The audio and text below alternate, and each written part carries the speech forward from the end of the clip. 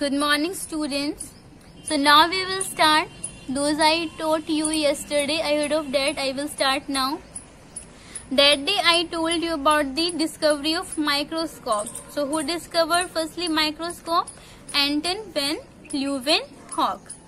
Now next topic is here shapes of cells. That is your third topic. You will see here the shape of the cell depends upon the function it performs. किसी भी cell का shape किस पर depend होता है?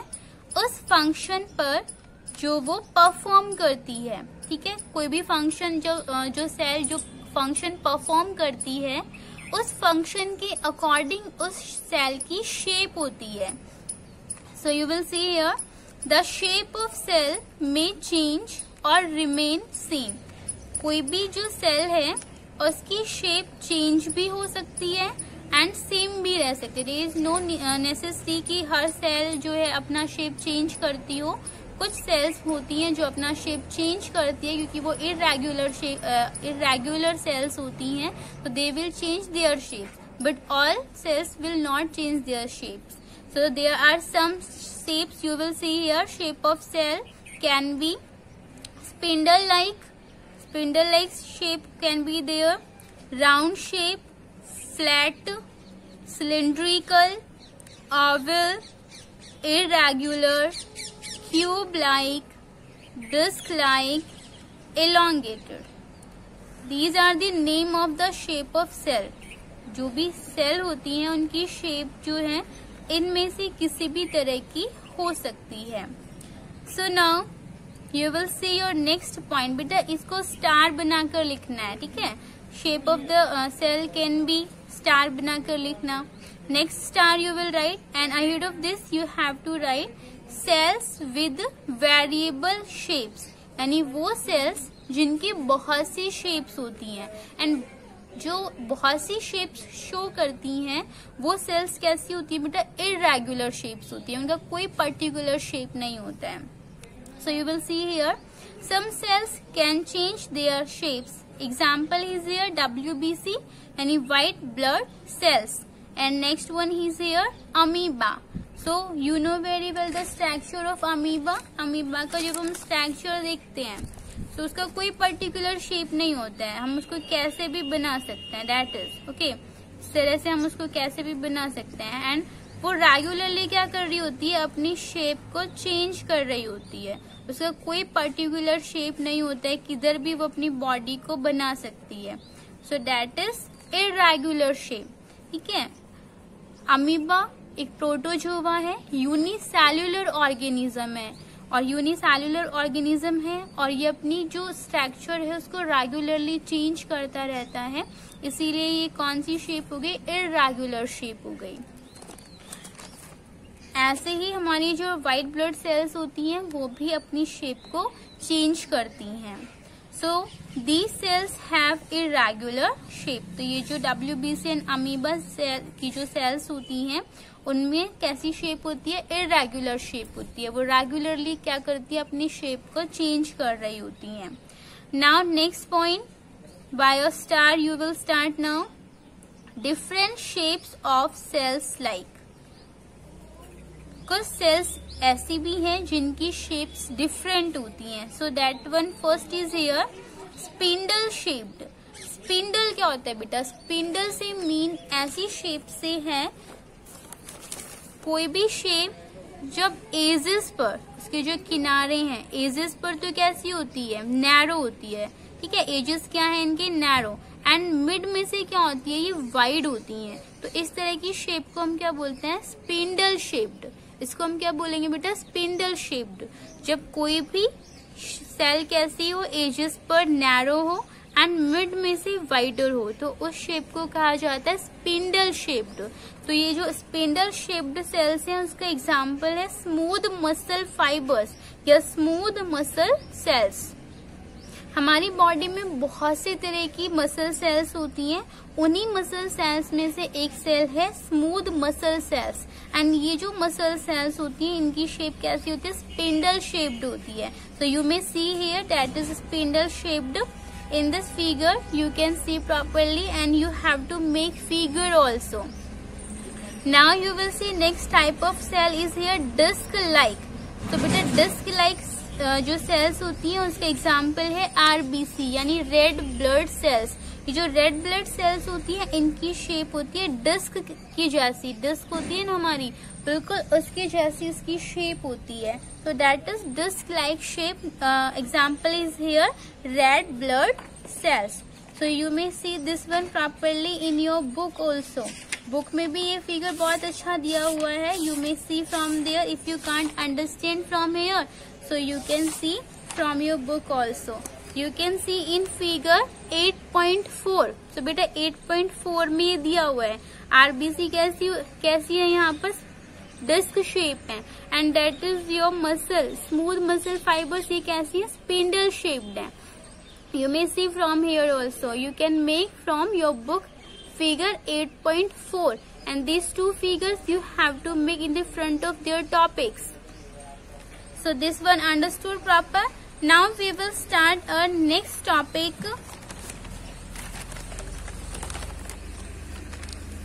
This beta.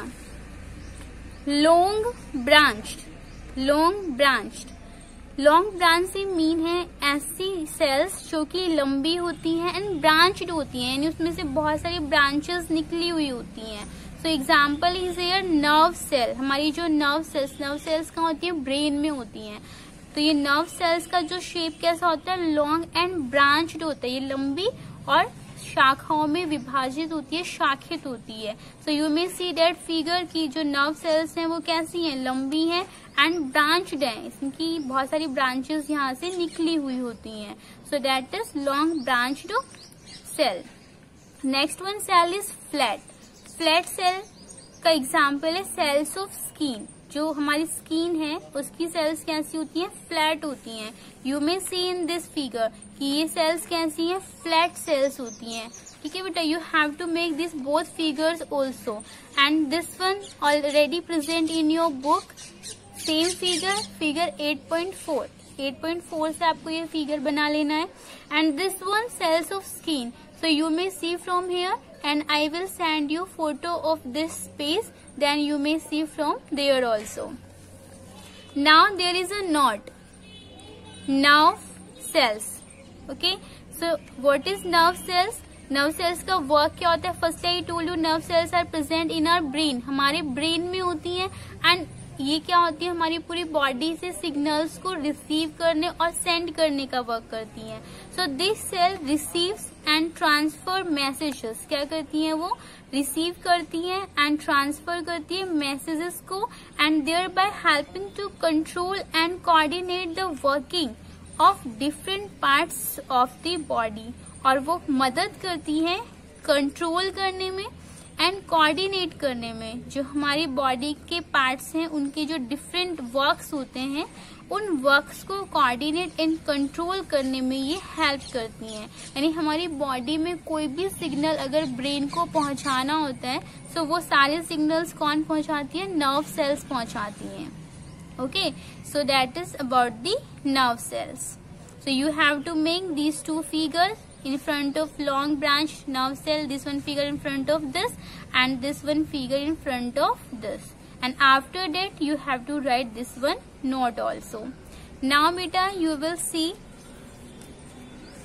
third a part completed here shapes of cells. Now we will start size of cells. So size of cells are also varies यानी जो size होते हैं सेल्स के, वो भी बहुत सारी टाइप के होते हैं। कोई स्मॉल होता है, कोई लार्ज होता है, कोई लॉन्ग होते हैं। तो उनके साइजेस भी डिफरेंट है। एनिमल्स में डिफरेंट है प्लांट्स में भी डिफरेंट है ह्यूमन बींग्स में भी डिफरेंट सेल्स होती हैं, जो स्मॉल एंड लॉन्ग होती हैं। So in this we will discuss this all things so first one we will see about the animals animals की कौन कौन से एनिमल की जो सेल है वो स्मॉलेस्ट है और कौन से एनिमल की सेल जो है वो लार्जेस्ट है? So there is a name and that is mycoplasma mycoplasma is a bacteria so इसका जो सेल है वो सारे वर्ल्ड का सबसे स्मॉलेस्ट सेल है।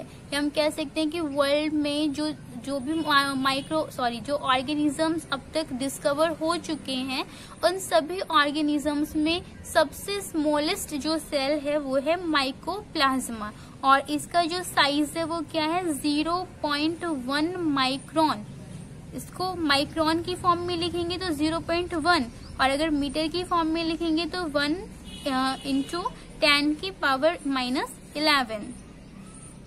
So this one you have to write next you will see largest cell so largest cell is here ostrich egg ostrich egg का जो सेल है, वो सबसे लार्जेस्ट सेल होता है। उसकी जो लेंथ है that is seventy centimetre, seventeen centimetre उसकी लेंथ होती है, या हम कहें कि उस सेल का जो साइज़ है वो सेवनटीन सेंटीमीटर होता है।